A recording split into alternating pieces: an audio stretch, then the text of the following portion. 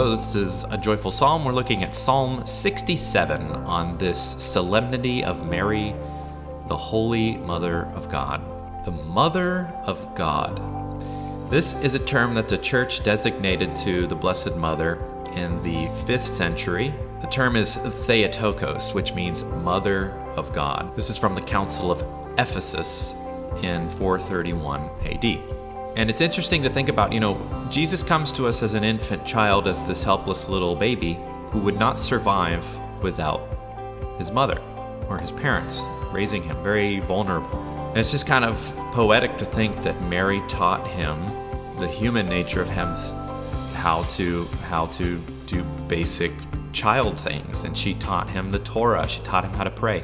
She taught him how to brush his teeth, you know, all of these motherly things. And the first reading gives us a great prayer.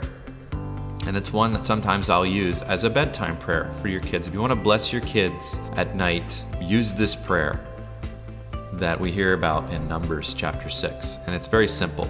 This is what we hear May the Lord bless you and keep you. May the Lord let his face shine upon you.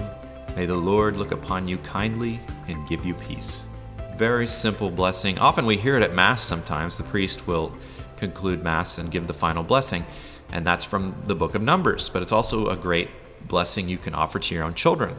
It's possible Mary used that blessing to bless Jesus. And so in Psalm 67, we can very much relate it to the Blessed Mother. For instance, you know, Mary is the conduit in which God makes his way known upon earth.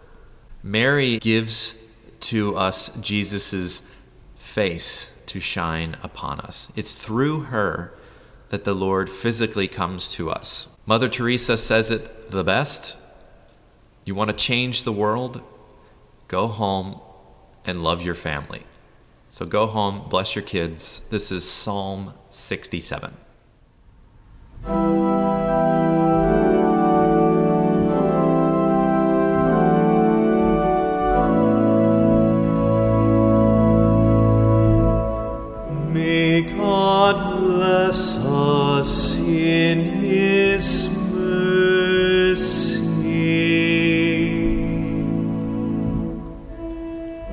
May God have pity on us and bless us.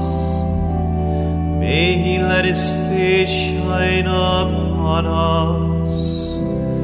So may your way be known upon earth. Among all nations, your salvation.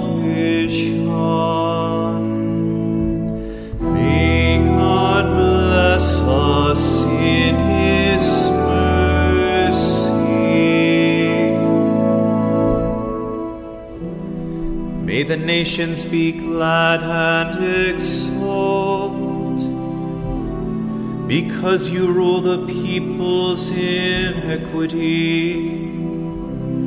May the nations be glad and exult, the nations on the earth you guide.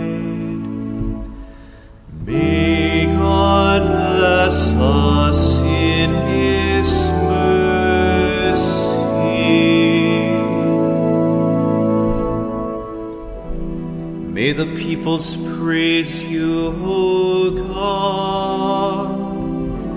May all the peoples praise you.